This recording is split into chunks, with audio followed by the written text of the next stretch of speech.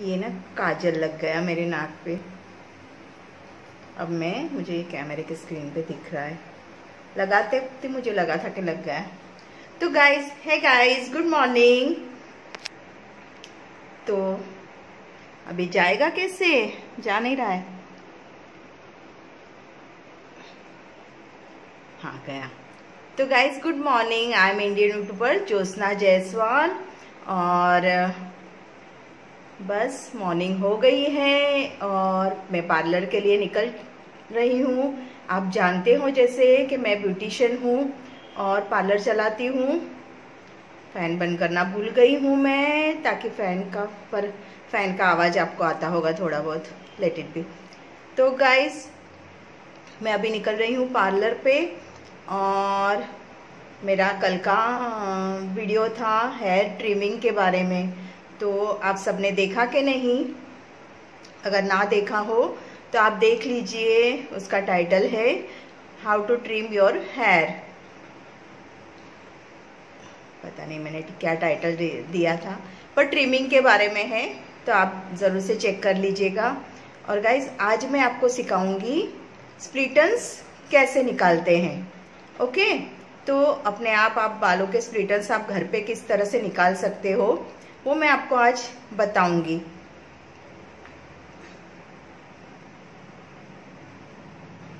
तो गाइस चलिए अब निकलते हैं पार्लर पे और आगे का काम करते हैं। तो गाइज़ मेरे वीडियो आपको कैसे लग रहे हैं? अच्छे लग रहे हैं तो आप लाइक शेयर कमेंट कीजिए। और मुझे कमेंट करके बताइए गाइज़ कि मैं, आपको समझ में आया या नहीं आया या कैसा लग रहा है? मेरे वीडियोस में सब कुछ होता है, जैसे कुकिंग भी होता है ब्यूटिशियन का काम भी होता है ब्लॉग भी होते हैं मेरे, घूमना फिरना भी होता है। तो गाइज़ आपको कैसा लग रहा है? और सभी लोग लगे हैं दिवाली की साफ़ सफ़ाई में, उनको देख के मुझे भी जोश आ रहा है। पर मेरे पास बहुत लिमिटेड टाइम होता है और रोज़ सोचती हूँ नाइट शिफ्ट करती हूँ, पर मेरी नाइट शिफ्ट एक भी दिन हो नहीं पाती है, मुझे बारह ऐसे ही बच जाते हैं। और गाइज़ मैं सोच रही हूँ, एक दिन लाइव भी आऊँ, पर कुछ पॉसिबल नहीं हो पा रहा है। तो चलिए फ्रेंड्स आज निकलते हैं और आज हम सीखेंगे कैसे हम हेयर को हेयर पे स्प्लिटर्स आ जाते हैं, वो कैसे निकाल सकते हैं। और बहुत बड़ी गलत बात है गाइस जिस तरह से हेयर पे इस तरह से स्प्लिटर्स आ जाते हैं ना नीचे तो हर कोई क्या करता है ट्रेन में बैठा रहेगा कोई भी तो एक एक बाल को ना ऐसे करके दो बाल बनाते रहते हैं तोड़ते रहते। तो ये एकदम गलत बात है, इस तरह से नहीं किया जाना चाहिए बालों को। और बालों को, अपने बालों को प्यार करो गाइस जितना आप उनको प्यार करोगे ना, उतने वो अच्छे से बढ़ेंगे। तो फ्रेंड्स चलिए हम सीखेंगे आज दोपहर को पार्लर पे पहुँच के बालों के स्प्लिटन्स कैसे निकालने हैं। और आपको मंथली एक बार बालों के स्प्लिटन्स निकाल देने हैं। बिल्कुल इतने इतने ही काटने हैं बालों को, एकदम से ध्यान से। उसको थोड़ा टाइम लगता है, पर आपने हर मंथली एक बार आपने ये सब कर लेना है अपने आप, खुद घर पे, ताकि आपके बाल अच्छे से ग्रो हो सके। और आपने हफ़्ते में एक बार ऑयल मसाज भी कर लेना चाहिए, पर ज़्यादा ज़ोर ज़ोर से नहीं, एकदम स्मूथली और प्यार से। मैंने बोला ना, जितना आप प्यार करोगे अपने बालों को, उतने बाल अच्छे होंगे। तो चलिए गाइस मेरी बड़बड़ में बंद करती हूँ और चलती हूँ पार्लर पे और वहाँ पे आपको जाके सिखाती हूँ कि बालों के स्प्लिटन्स कैसे निकाले जाते हैं। तो गाइस मैं अभी आ गई हूँ पार्लर पे और मैं आपको बता रही हूँ कि स्प्लिटन्स बालों के स्प्लिटन्स कैसे निकाले जाते हैं। ये मेरे बाल हैं जो देखिए, नीचे बहुत सारे स्प्लिटन्स हो गए हैं। तो मैं आपको दिखाऊँगी कि स्प्लिटन्स कैसे निकाले जाते हैं। पहले बालों को अच्छे से कोम कर लीजिए, आपको स्प्लिटन्स निकालने हैं तो। बालों को प्रॉपरली कोम कर लेंगे आप। तो अच्छे से आपको पार्टिंग करने को अच्छा पड़ेगा। मैंने हाफ़ पोर्शन लिया है बालों का और हाफ़ पोर्शन में से भी मैं वन स्ट्रिप लूँगी इस तरह से, क्योंकि हमारे यहाँ आगे बाल को बहुत स्प्लिटन्स रहते हैं। तो हमें पहले बालों को इस तरह से टाइट ले लेना है और कान के पीछे कर लेंगे हम और हम इसको इस तरह से ट्विस्ट करेंगे। तो गाइस हम जितना ट्विस्ट करेंगे, इसको ऐसे ऊपर करेंगे तो जो स्प्लिटन्स वाले बाल हैं ना, वो बाहर आ जाएँगे। और जो बाहर आ रहे हैं, हमें उसको इस तरह से कैंची से उड़ाने हैं।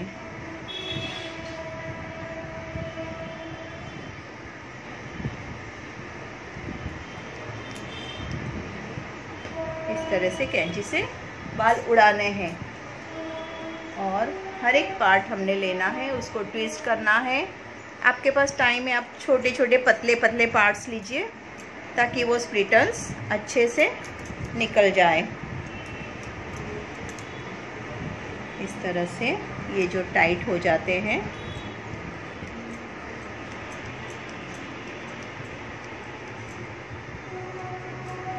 जितना आप ट्विस्ट करेंगे ना गाइस सारे बाल बाहर आ जाएँगे।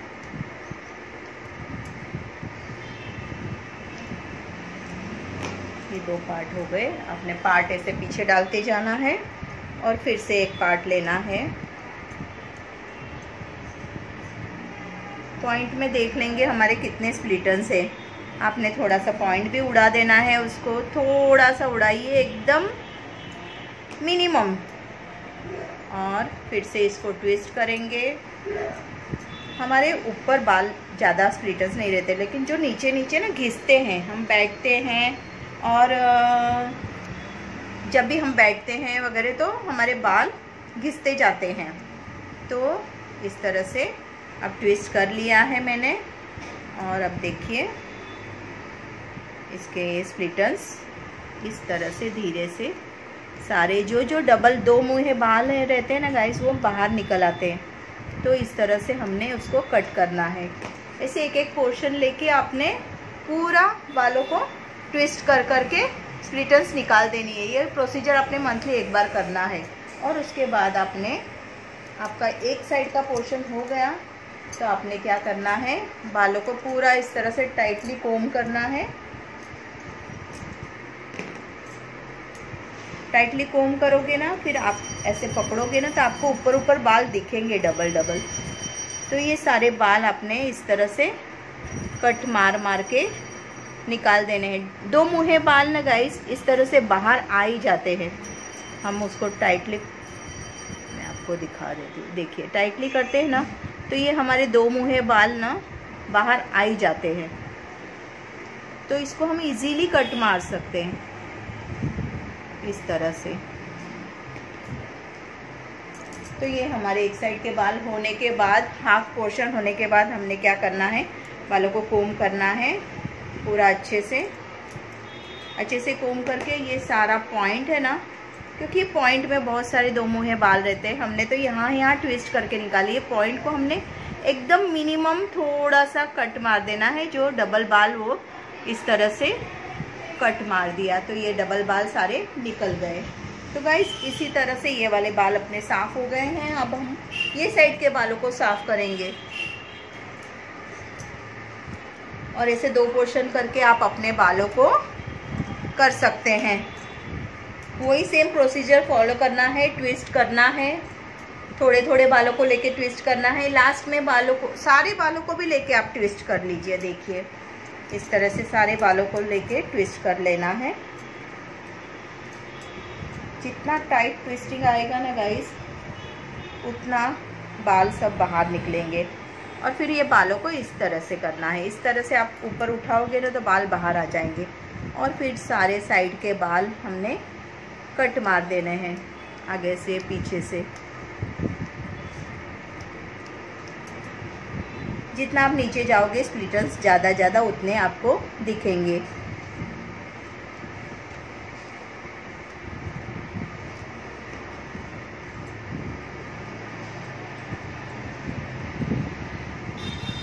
ये देखिए अच्छे से लाइट के उजाले में आपने इस तरह से पूरे बालों के स्प्लिटर्स निकाल देने हैं। और मंथली एक बार करना है। थोड़ा सा टाइम लगेगा गाइस अच्छे से आपने एक एक बालों को चुन चुन के उसको स्प्लिटर्स निकाल देने हैं। आप बालों को मिक्स कर लीजिए। मिक्स करके आप देखिए। आप मिरर में देख सकते हैं, इसको टाइटली ऐसा कोम कीजिए। और टाइटली ऐसे पकड़िए ना। आप जितना उसको कोम में टाइटली पकड़ोगे ना, आपके स्प्लिटन्स बाहर आ जाएँगे। ये देखिए, ये सब स्प्लिटन्स जो बाहर आ गए, उसको कट मार दीजिए। तो गाइस इस तरह से आप बालों के स्प्लिटन्स घर पे ही निकाल सकते हैं। और एक बार स्प्लिटन्स निकालने के बाद आपने इसको सीरम लगा देना है। सीरम आपने हमेशा यूज़ करना है। सीरम लगाओगे तो आपके बालों में शाइनिंग रहेगी। देखिए, अंदर के साइड थोड़े बहुत रह गए स्प्लिटन्स उसको भी मैं निकाल देती हूँ।